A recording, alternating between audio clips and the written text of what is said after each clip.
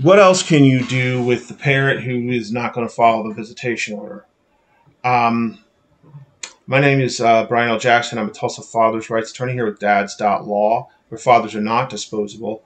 And um, today I want to talk about another option to deal with the parent who won't follow the custodial order, which is the motion to modify.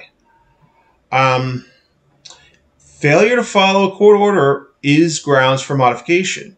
That is considered a um, material change in circumstance, and it certainly impacts the best interests of the children.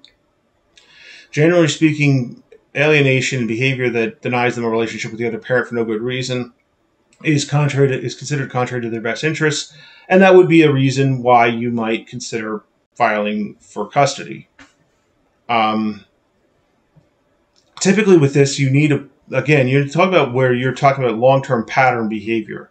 One one or two missed visits. Theoretically, yes, you could file the motion to modify, but it's probably not going to get you what you want because certainly not if you're trying to change custody because the reality is the court's probably going to be like okay well that's a one-off.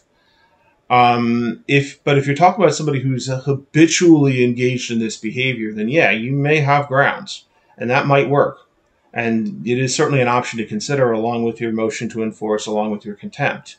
Now there are some complicating factors in play here because if you're talking about long-term behavior pattern and you may be that you haven't seen the children in a while that'll come up and maybe that the kids, if they're older, may be saying they don't want to see you, or they may not know you because they haven't seen you in years. And her attorney, if they're smart, are going to raise those arguments, and you need to be prepared for that. And I'm going to talk in my next video about how specifically you're going to combat that and make your case. But the long and short of it is, this is not going to be a simple walk in the park, even if she's like a really egregious screw up with no excuse. So be aware of that and this is where you need good counsel again.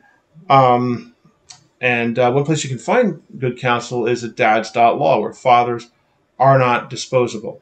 Thanks, guys.